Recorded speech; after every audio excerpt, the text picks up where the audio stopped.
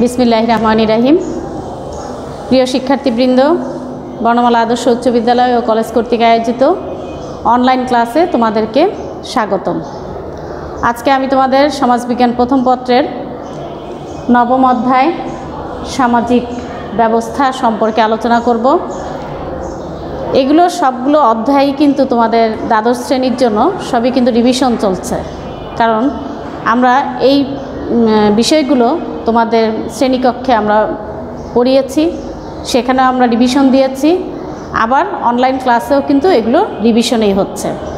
তো যাই হোক, শিক্ষার্থীবৃন্দ, আমি আজকে এই নবম অধ্যায়ের সামাজিক ব্যবস্থা সম্পর্কে কিছু বিষয় আলোচনা করব। তবে আমরা জেনে নেই এই সামাজিক ব্যবস্থার মধ্যে কি কি রয়েছে। সামাজিক ব্যবস্থার মধ্যে রয়েছে সমাজের অর্থনৈতিক ব্যবস্থা, সম্পত্তি রাষ্ট্রের উৎপত্তি সংক্রান্ত মতবাদ, শিক্ষা, ধর্ম, ধর্মের গুরুত্ব, সমাজ জীবনে ধর্মের তাৎপর্য, তারপরে হচ্ছে ধর্মের উৎপত্তি সংক্রান্ত মতবাদ, নৈতিকতা ইত্যাদি বিষয়গুলো আমরা এই অধ্যায়ে আলোচনা করব। যদিও আমরা ক্লাসে এই বিষয়গুলো আলোচনা করেছি, আবারও আমরা সেগুলো আলোচনা করছি।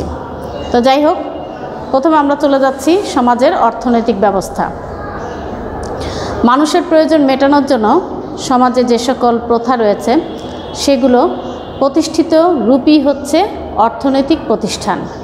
এই অর্থনৈতিক প্রতিষ্ঠানের সাথে অর্থনৈতিক ব্যবস্থা একটি অঙ্গাঙ্গিভাবে জড়িত।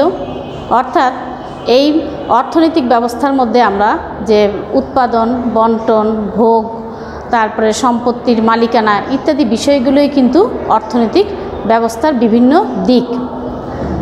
মানুষের বিভিন্ন স্তরে এই অর্থনৈতিক অবস্থার মধ্যে তাদের সামাজিক রীতিনীতি, আচার ব্যবহার, চিন্তাধারা বিভিন্ন রকম ছিল।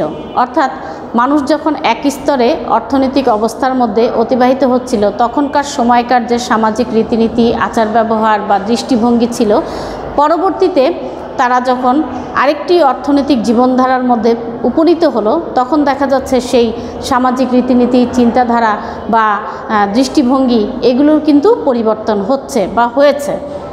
তো এই পরিবর্তনের উপর ভিত্তি করে অর্থনীতিবিদ কার্ল মার্কস তিনি সমাজের কাঠামোকে দুটি ভাগে ভাগ করেছেন। একটি হচ্ছে মৌল কাঠামো আর একটি হচ্ছে উপরিকাঠামো মৌল কাঠামো বলতে তিনি অর্থনীতিকে বুঝিয়েছেন আর উপরিকাঠামো বলতে সমাজের অন্যান্য দিকগুলো যেমন রাজনীতি, সংস্কৃতি, পরিবার, ধর্ম, শিক্ষা ইত্যাদি বিষয়গুলোকে তিনি অন্তর্ভুক্ত করেছেন। তো সুতরাং সমাজের যে মূল যে বিষয়টি, অর্থনীতি, সেটি যদি পরিবর্তন হয়, তাহলে অবশ্যই সমাজের যে অন্যান্য দিকগুলো রয়েছে, সেগুলো অবশ্যই পরিবর্তন হবে। আমরা এখন চলে যাচ্ছি বর্তমান বিশ্বে চার ধরনের অর্থনৈতিক ব্যবস্থার দিকে একটুখানি আলোকপাত করি। এই চার ধরনের অর্থনৈতিক ব্যবস্থা হচ্ছে, প্রথমত পুঁজিবাদী অর্থব্যবস্থা, তারপরে সমাজতান্ত্রিক অর্থব্যবস্থা, মিশ্র অর্থব্যবস্থা এবং ইসলামী অর্থব্যবস্থা। তো এই অর্থব্যবস্থাগুলোর বৈশিষ্ট্যগুলো কি সেগুলো আমরা একটু জেনে নেই। প্রথমে জেনে নেই পুঁজিবাদী অর্থব্যবস্থা। এই পুঁজিবাদী অর্থব্যবস্থাকে এক আরেক কথায় বলা হয় ধনতান্ত্রিক অর্থব্যবস্থা। এই ধনতান্ত্রিক অর্থব্যবস্থায় মূলত সকল সম্পত্তির মালিক হচ্ছে ব্যক্তি, অর্থাৎ এর মূল বৈশিষ্ট্যই হচ্ছে ব্যক্তিগত মালিকানা। এখানে উৎপাদন যন্ত্র, উৎপাদন উপায়ের মানে উৎপাদন থেকে যে মুনাফাটা আসে, তার সম্পূর্ণ অধিকারী হয় পুঁজিপতিদের হাতে। এবং শ্রমিকরা এখানে যা তারা কাজ করছে, সেই অনুযায়ী তাদের কিন্তু ন্যায্য পাওনা দিচ্ছে না, অর্থাৎ শ্রমিকরা কিন্তু শোষিত হচ্ছে। এখানে ব্যক্তিগত মালিকানা থাকায় এখানে পুঁজিপতি, সে মুনাফা অর্জনের আশায় সে কি করছে? সে মানুষের, অর্থাৎ যারা নাকি শ্রমিক, তাদের মুখের গ্রাস কেড়ে নিচ্ছে এবং অর্থের বিনিময়ে সে সেখানে তার আধিপত্য বিস্তার করছে। তো এখানে দেখা যাচ্ছে যে দুটি শ্রেণি, একজন হচ্ছে পুঁজিপতি, যিনি উৎপাদন যন্ত্রের মালিক, আরেকজন হচ্ছেন শ্রমিক, যারা উৎপাদন উপায়ের মালিকানা থেকে বঞ্চিত শ্রেণি। তো তাদের মধ্যে যে পুঁজিপতি, তাকে বলা হচ্ছে শোষক, আর যে পুঁজিপতি না, অর্থাৎ উৎপাদন যন্ত্রের মালিকানা থেকে বঞ্চিত শ্রেণি, তাকে বলা হচ্ছে শোষিত শ্রেণি। এইভাবে পুঁজিবাদী সমাজে দুটি শ্রেণির কারণে এই সমাজটাকে বলা হচ্ছে শ্রেণি সমাজ। এখন আমরা যাচ্ছি সমাজতান্ত্রিক সমাজ। অর্থাৎ পুঁজিবাদী সমাজে কিন্তু বৈষম্য প্রকট, অর্থাৎ পুঁজিপতি, সে তার ব্যক্তিগত মুনাফার জন্য শ্রমিককে নিষ্পেষিত করছে, তাকে বিচ্ছিন্ন করছে সমাজ থেকে, সে যা উৎপাদন করছে সেখান থেকেও সে কিন্তু নিঃশেষিত হয়ে যাচ্ছে।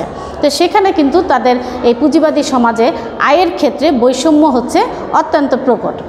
তো এরপর আমরা চলে যাচ্ছি পুঁজিবাদীর পরে সমাজতান্ত্রিক সমাজ। সমাজতান্ত্রিক সমাজে দেখা যাচ্ছে যে পুঁজিবাদী সমাজের সকল সম্পত্তির মালিকানা ছিল ব্যক্তিগত। কিন্তু এখানে দেখা যাচ্ছে যে সকল সম্পত্তির মালিক হচ্ছে রাষ্ট্র নিজে। অর্থাৎ এখানে মূলত ব্যক্তি বিশেষের জন্য উৎপাদন নয়। এখানে মূলত জনসাধারণের অর্থাৎ শ্রমিকদের কল্যাণের জন্যই এখানে মালিকানা মালিকানা নির্ধারিত হচ্ছে। তো এইখানে দেখা যাচ্ছে যে রাষ্ট্র জনগণের মৌলিক চাহিদা পূরণের জন্য এবং জনগণের কল্যাণের জন্যই কাজ করে যাচ্ছে, এখানে ব্যক্তি স্বার্থ কিন্তু পরিলক্ষিত হয় না। অর্থাৎ এই সমাজতান্ত্রিক সমাজে উৎপাদনের যে সামাজিক চরিত্র, এখানে সামাজিক মালিকানা সঙ্গতিপূর্ণ, এখানে কিন্তু বৈষম্য বা কোনো অসঙ্গতি দেখা যায় না। এখানে একজন উৎপাদক কতটুকু উৎপাদন করবে, কোথায় উৎপাদন করবে, কার জন্য উৎপাদন করবে, কীভাবে সরবরাহ করবে সব কিছুই কিন্তু রাষ্ট্র নির্ধারণ করে দেয়। এবং শ্রমিকদের এখানে মজুরির মূল কথা হচ্ছে যে শ্রমিক তার কাজের, কাজ করবে তার যোগ্যতা অনুযায়ী এবং কাজের ভিত্তিতেই সে তার পারিশ্রমিক পাবে। তো এখানে দেখা যাচ্ছে যে বৈষম্যটা তেমন একটা নেই বললেই চলে। আমরা এবার চলে যাচ্ছি মিশ্র অর্থব্যবস্থা। মিশ্র অর্থব্যবস্থা কিন্তু এখানে ধনতান্ত্রিক অর্থব্যবস্থা অর্থাৎ পুঁজিবাদী সমাজ ব্যবস্থা, তারপরে সমাজতান্ত্রিক অর্থব্যবস্থা যেমন রয়েছে, মিশ্র অর্থব্যবস্থাও রয়েছে। তবে মিশ্র অর্থব্যবস্থায় কিন্তু এই ধনতান্ত্রিক এবং সমাজতান্ত্রিক দুই অর্থব্যবস্থারই বৈশিষ্ট্য এখানে পরিলক্ষিত হয়। অর্থাৎ এখানে দেখা যাচ্ছে যে কিছু কিছু মালিকানা, রাষ্ট্রীয় মালিকানাধীনে রয়েছে, আবার কিছু কিছু সম্পদ ব্যক্তিগত মালিকানাধীনে রয়েছে। অর্থাৎ এখানে রাষ্ট্রীয় এবং ব্যক্তিগত দুটোই এখানে প্রাধান্য পাচ্ছে। তো রাষ্ট্রীয় মালিকানাধীনে যেগুলো রয়েছে, যেমন দেখা যায় মৌলিক ও ভারী শিল্প তারপরে বড় ব্যাংক আর্থিক প্রতিষ্ঠান, যোগাযোগ ব্যবস্থা, শিক্ষা ব্যবস্থা, ঔষধ বা শিশুদের খাদ্যপণ্য এই সকল ব্যাপারে দেখা যাচ্ছে যে এগুলো হচ্ছে রাষ্ট্রীয় মালিকানাধীনে রয়েছে। আর ব্যক্তিগত মালিকানাধীনে যেগুলো রয়েছে, সেগুলো হচ্ছে যেমন কৃষিপণ্য হোটেল, রেস্তোরাঁ বা ব্যক্তিগত যানবাহন, পোশাক, এগুলো হচ্ছে ব্যক্তিগত মালিকানা।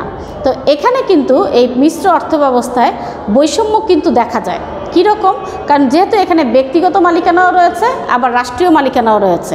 তাই ব্যক্তিগত মালিকানাধীনে যে সকল সম্পদ রয়েছে, সেই সম্পদগুলো কিন্তু দেখা যায় যে তিনি তাদের মুনাফা লাভের জন্য অর্থাৎ ধনতান্ত্রিক অর্থব্যবস্থায় যেমন মালিকরা নিজেদের মুনাফা বৃদ্ধি করার জন্য শ্রমিকদেরকে নিষ্পেষিত করত, শ্রমিকদের ন্যায্য পাওনা থেকে বঞ্চিত করত, ঠিক তেমনি এই মিশ্র অর্থব্যবস্থা দেখা যাচ্ছে যে ব্যক্তিগত মালিকানাধীনে যে সকল সম্পদ রয়েছে, সেখানে যারা মালিক, তারা কিন্তু তাদের মুনাফা লাভের আশায় শ্রমিকদের ঠকাত। অর্থাৎ শ্রমিকদের ন্যায্য পাওনা তারা দেয় না।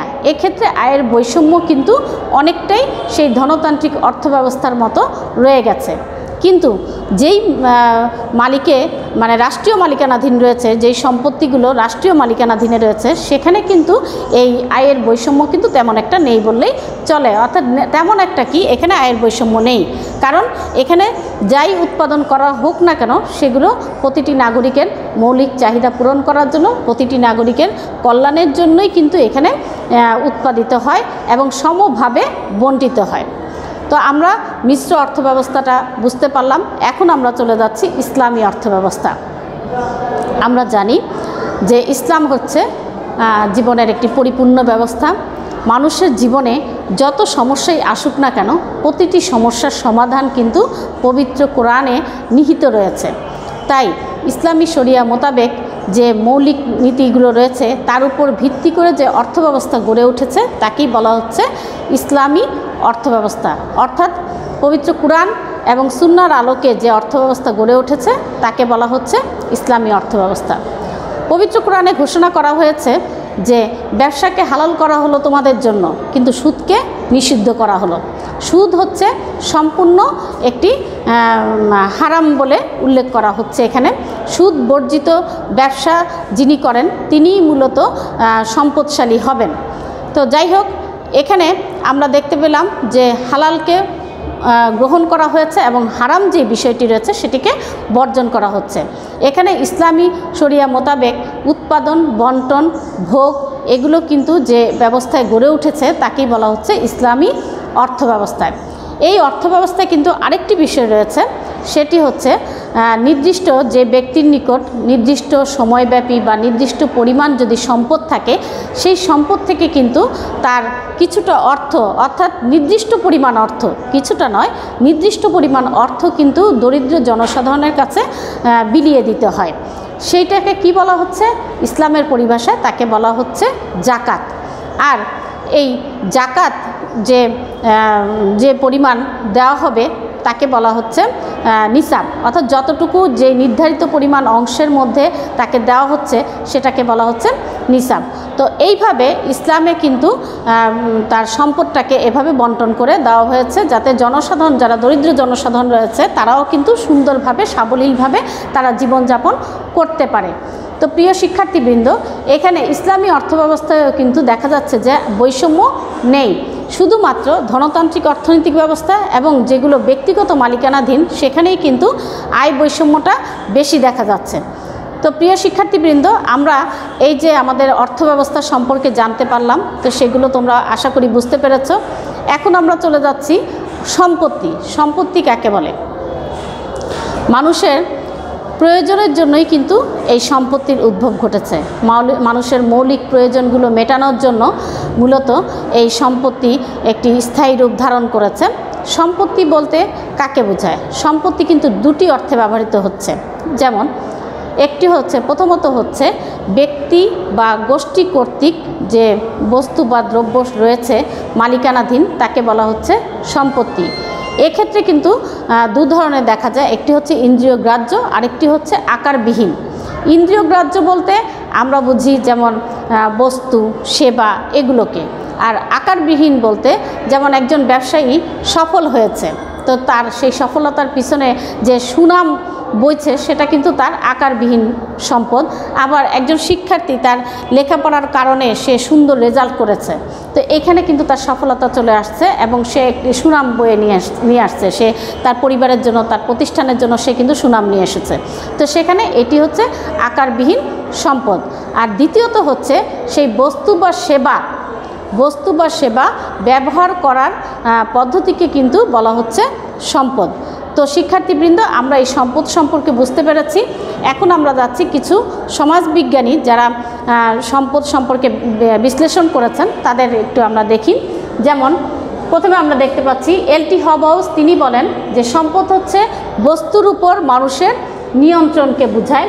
কিংসলে ডেভিস, তিনি বলেন, সম্পত্তি সীমিত কোনো বিষয়ে মানুষের অধিকার এবং আইনগত অধিকার, আইনগত বৈধতা ব্যতীত আর কিছুই নয়।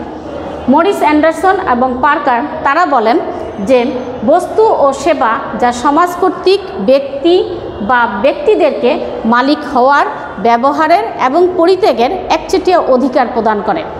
তো আমরা এই যে সম্পত্তির সংজ্ঞাগুলো আমরা দেখতে পেলাম, এই সম্পত্তির সংজ্ঞা থেকে আমরা এই বুঝতে পেরেছি যে সম্পত্তির বৈশিষ্ট্য হচ্ছে সম্পত্তি মালিকানাধীন, এটা ইচ্ছে মতো ব্যবহার করতে পারবে, আবার এটাকে পরিত্যাগও করতে পারবে হস্তান্তর করতে পারবে, বিক্রি করতে পারবে, আবার দানও করতে পারবে। এই হচ্ছে সম্পত্তির বৈশিষ্ট্য। সম্পত্তির কিন্তু প্রকারভেদ রয়েছে, যেমন সাধারণ সম্পত্তি বা এজমালি সম্পত্তি, যেটা সবার জন্য। আবার ব্যক্তিগত সম্পত্তি, যৌথ সম্পত্তি। ব্যক্তিগত সম্পত্তিকে আবার দুভাগে ভাগ করা হয়েছে, একটা হচ্ছে ব্যক্তিগত আর একটা হচ্ছে ব্যক্তিগত নিজস্ব ব্যবহার্য সম্পত্তি। আর যৌথ সম্পত্তিকে আবার দুভাগে ভাগ করা হচ্ছে। একটা হচ্ছে যৌথ মালিকানা ভিত্তিক সম্পত্তি, আরেকটা হচ্ছে শেয়ার ভিত্তিক দলগত সম্পত্তি। তো এই যে সম্পত্তি আলোচনা করলাম, সম্পত্তির প্রকারভেদ আলোচনা করলাম, এই প্রকারভেদগুলো তোমরা যখন বইটি খুলবে, তখন কিন্তু সেখানে সুন্দর করে দেওয়া আছে, সেভাবে সুন্দর করে পড়ে নিবে। আর এই যে আমাদের যে অর্থনৈতিক ব্যবস্থা সম্পর্কে বললাম সেগুলো কিন্তু তোমাদের সব বইতে নাই, কিছু কিছু বইতে আছে। তো সেই বই থেকে আমি যেভাবে তোমাদের বললাম, সেভাবে তোমরা একটু দেখে পড়ে নিবে, তাহলে তোমরা বুঝতে পারবে। তো শিক্ষার্থীবৃন্দ, আমি এই বলে আজকের ক্লাস শেষ করছি। তোমাদেরকে ধন্যবাদ।